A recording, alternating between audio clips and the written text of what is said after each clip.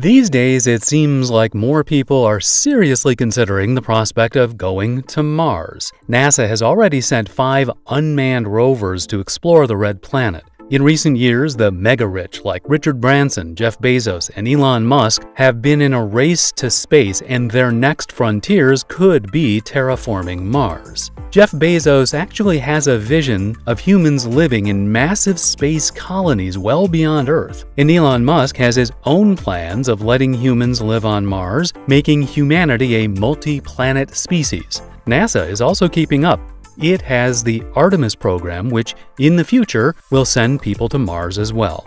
As of now, we still know the red planet to be, well, red. It's like a desert, full of dust and rocks. NASA scientists think there might be frozen water there, but the question remains how will life be like on Earth's next door solar system neighbor?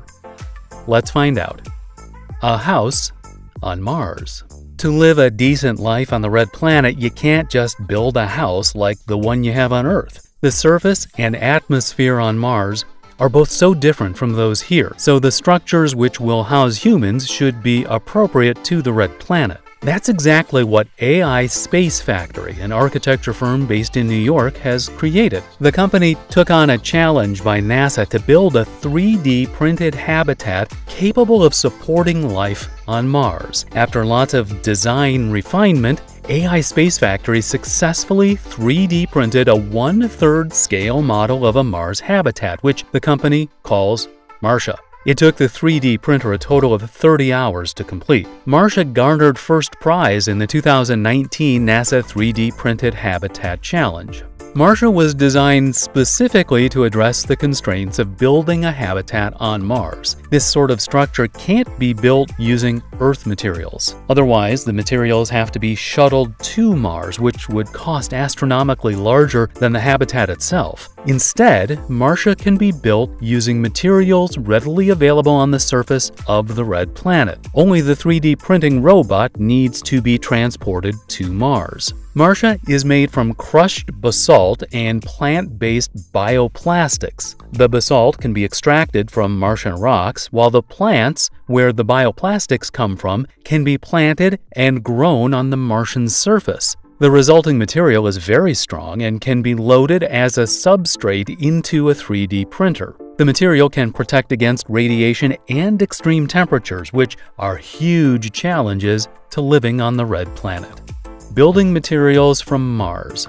AI Space Factory says that using materials found on Mars is the only viable option in building dwellings there. A journey to Mars from Earth takes nine months, so ferrying materials from Earth will take way too long. Not to mention the extremely high price of interplanetary shipping. Using Martian materials also makes a lot of sense for repairs. Let's say your house on Mars has a hole in a wall. Well, to fix it, there's no hardware store you can easily run to for bricks or concrete. You'll have to use Mars rocks. Otherwise, that hole in the wall will stay for a long while.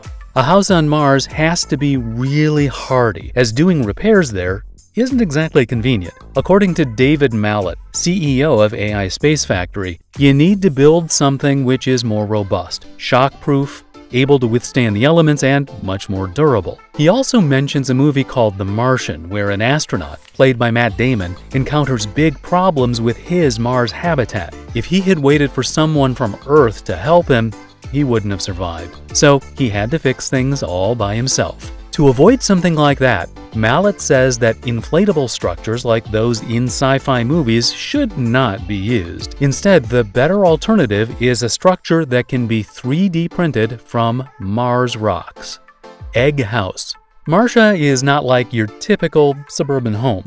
For one, it's not rectangular and it doesn't have a triangular roof either. It's also not a dome structure that's common in many sci-fi movies. Instead, the design team of AI Space Factory settled on what it deemed the most structurally efficient form, an egg shape. They took inspiration from the egg shell, which can be really thin but still really strong, strong enough to hold the growing embryo inside. Thus, they can create Marsha with less material while maintaining a durable structure. The eggshell shape is also useful in addressing the pressure differences between the inside of the structure and the Martian atmosphere outside. The atmosphere of the red planet is incredibly thin. It's about 98% less dense than the atmosphere here on Earth, with a pressure of 0.095 pounds per square inch, or psi. For comparison, the atmospheric pressure at sea level here on Earth is about 14.7 psi. Humans can't survive breathing the thin air of the Martian atmosphere.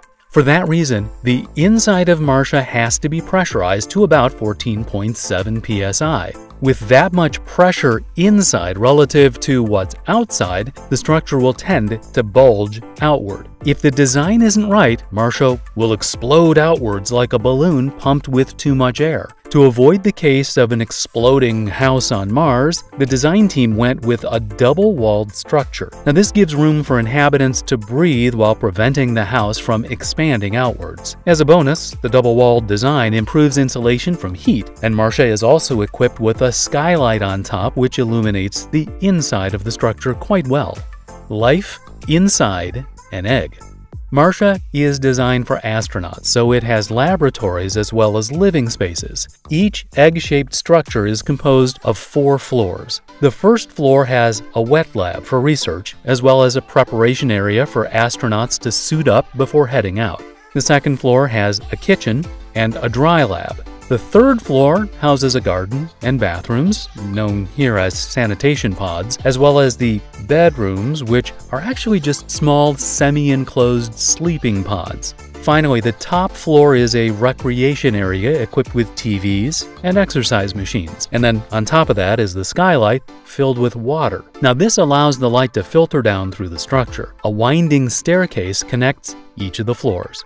The interior of Marsha is full of curved designs, which makes the space feel more organic. This is a world of difference from something like the International Space Station, whose insides are full of clean angles and straight lines. In contrast, the inside of Marsha feels very futuristic. There is no actual Marsha yet, though. What AI Space Factory has created is just that scale model. It'll take time before a real Marsha will be built on the Red Planet. A glimpse of life on Mars. AI Space Factory has also made a replica of Marsha right here on Earth. It's called Terra, and it's designed a lot like Marsha, complete with the egg-shaped structure and the 3D printed shell. Much like its Mars-bound twin, Terra is also designed to be built from sustainable materials found on Earth. The structure is made of basalt and a biopolymer derived from corn, or sugarcane. This material, according to AI Space Factory, is 50% stronger than steel, but unlike steel, it can be composted. One of the goals of Terra is to be a proof of concept for sustainable construction. Terra can prove that buildings can be more eco-friendly. Construction doesn't have to depend on materials that can't be recycled. In 2019, AI Space Factory opened Terra to members of the public. They launched an Indiegogo campaign to let people book a night to stay in a Terra being built in New York at the time. The price range was $175 to a whopping $500 per night. The habitat was scheduled to open in March of 2020, but the COVID 19 pandemic set it back.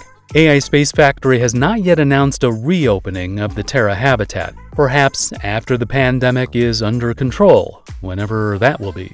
Making Mars more habitable for Earthlings is a huge leap for humanity to take. Terraforming Mars is a lofty dream and it may take eons. But building a home on Mars, which mimics our homes on Earth, is easier. All AI Space Factory has to do is launch its 3D printing robots to the Red Planet. If they hurry, they can probably catch Perseverance and Ingenuity doing their jobs, and NASA will be in for a nifty surprise robots building egg shaped structures on Mars. But this time, it won't be the work of aliens, it will be the work of humans.